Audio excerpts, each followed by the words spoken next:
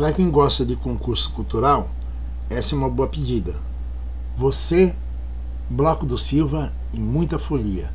Participe para concorrer a um par de ingressos para o Bloco do Silva. Já aconteceu o show de Brasília, de Belo Horizonte, mas ainda tem de Recife e São Paulo. Se você mora em uma dessas duas cidades e gosta de curtir, essa é a sua chance.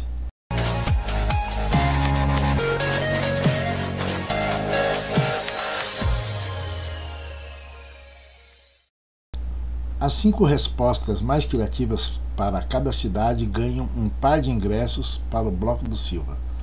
Basta você responder a pergunta: qual foi sua viagem mais inesquecível e qual música do Silva combina com ela?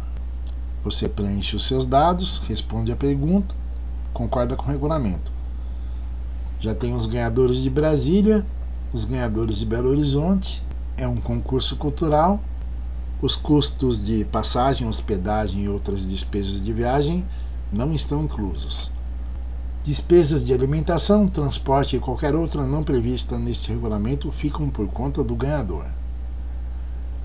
A divulgação dos resultados será feita nas seguintes datas e horários.